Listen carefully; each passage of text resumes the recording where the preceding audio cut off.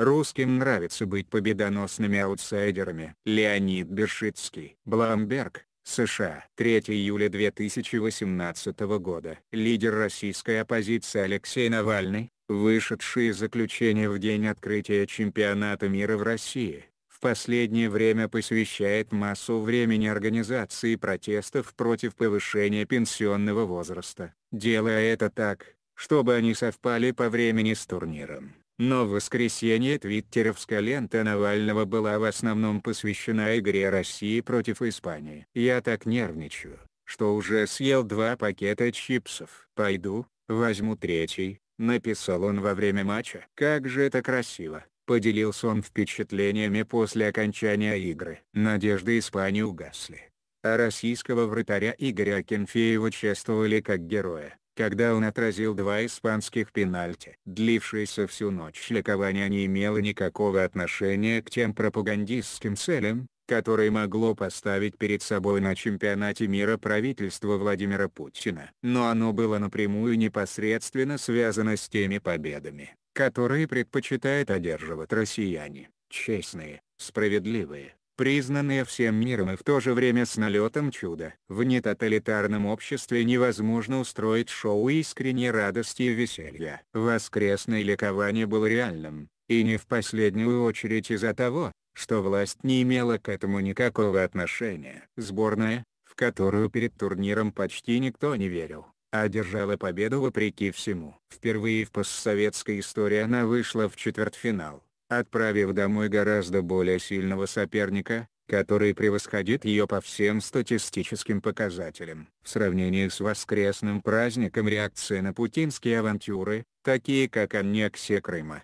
военные победы над чеченскими повстанцами или успехи в Сирии, была далеко не столь праздничной и торжественной. Испания владела мячом 79% времени и нанесла 25 ударов поворотом против семи российских. Точность пасов у нее составила 90%, а у русских 65%. Это было вполне ожидаемо с учетом совокупной рыночной стоимости российской сборной, 161,8 миллиона евро, которая намного ниже испанского показателя в 974 миллиона. А еще Россия в начале встречи забила гол в собственные ворота, из-за чего у меня возникло тревожное чувство надвигающейся катастрофы. Незадачливая российская команда под руководством Станислава Черчесова, который большую часть своей футбольной карьеры просидел на скамейке запасных в качестве второго вратаря, получила звание худшей за целое поколение. Она проиграла Коста-Рике и Катару. Это был такой жалкий аутсайдер, что после неожиданных и убедительных побед над Саудовской Аравией и Египтом глава антидопингового агентства США Травис Тайгард,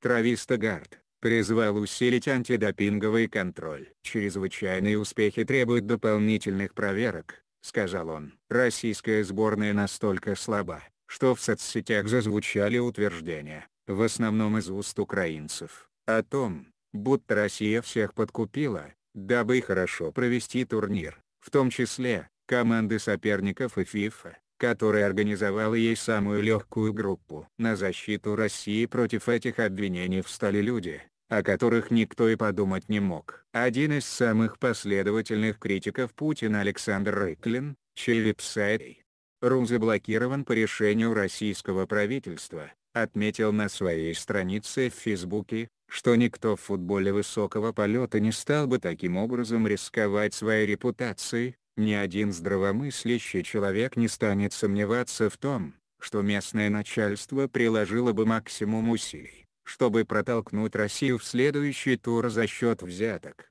будь у него такая возможность. Репутация наших начальников не дает повода для таких сомнений. Но кому в таком случае предлагать деньги, кто будет на другом конце такой сделки? Бесконечному удивлению и радости большинства россиян, как сторонников, так и противников Путина, эти победы целиком и полностью являются заслугой некогда незадачливой национальной сборной, которую набрали из заурядных по международным меркам клубов. Черчесову пришлось даже вызвать 38-летнего Сергея Игнашевича, у которого пока нет контракта на следующий год. И этот ветеран занял важную позицию в центре защиты, поскольку приличной альтернативы ему просто не нашлось. Это чисто русская, антиэлитная дружина сражается за каждый мяч подобно гладиаторам. Надо сказать, что эти игроки за время игр пробежали больше любой команды, за исключением Сербии, Германии и Австралии, которые уже вылетели с турнира. В русских сказках часто фигурируют удачливые бездельники, но российская сборная не из этих сказок. Лучше всех ее выступление описал перед игрой с Испанией нападающий Артем Дзуба. То, что происходит, это сказка для всех нас. У Испании это случается все время.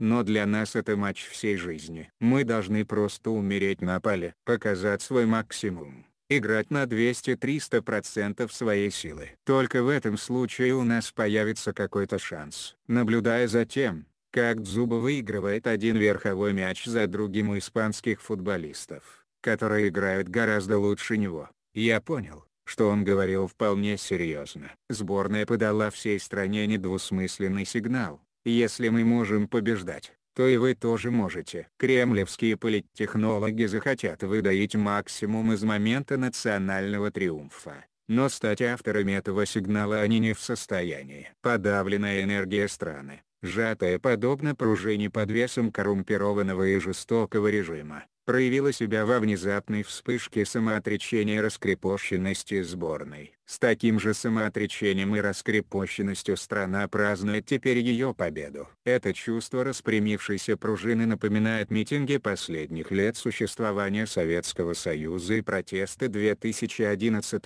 года. Это чувство неудачника, внезапно ощутившего свою силу. А что касается Кремля, то ему остается надеяться, что в следующем раунде сборной подрежут крылья. Ведь кто знает, какие идеи придут в головы русским, если она пройдет дальше. Содержание статьи может не отражать точку зрения редакции, компании Bloomberg LP и ее собственников. Минус комментарии читателей поет какова бы ни была политика, я думаю, мы можем отпраздновать достижения российской команды, которая повергла одного из титанов спорта Испанию. Поздравляем! Россия. Ничего не знаю. Я буду ждать результатов допинг-теста. Найроча Крым, Сирия, Навальный, допинг. Ле, имейте хоть чуточку самоуважения. Это же футбол, а не салат. Поэтому пишите про футбол. Боже мой. Гаспикаев все понятно. Когда любая другая страна празднует победу над командой, которая намного сильнее, это нормально. Это радость. Но торжество в России – это зло. Это мрачное проявление путинской тирании. Ржу не могу. Влад Пуфактиненко Путин купил эту игру и заплатил за нее. Нелепо верить во что-то другое. Худшая по рейтингам команда победила Испанию. Путину надо фильмы для Диснея снимать.